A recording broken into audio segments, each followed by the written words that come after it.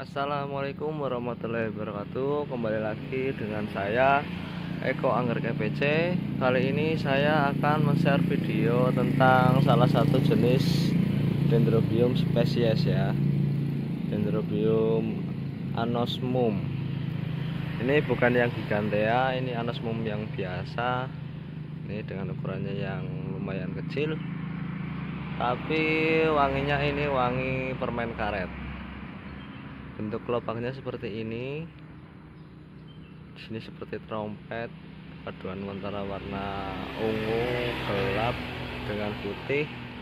Ini lumayan banyak mekarnya dalam satu tangkai biasanya dua tiga doang. Ini satu dua tiga empat lima enam tujuh ya tujuh tujuh tangkai nah, ini bisa dilihat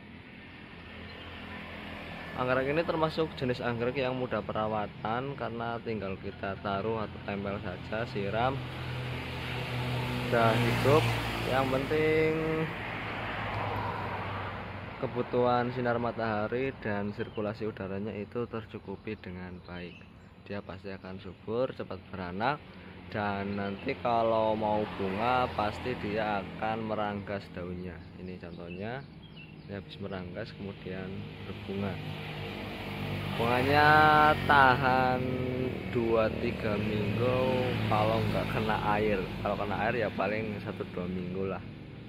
Satu minggu paling kalau kena hujan terus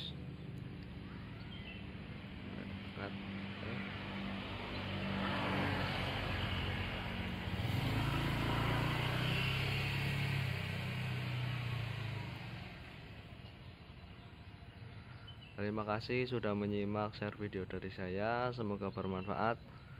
Assalamualaikum warahmatullahi wabarakatuh.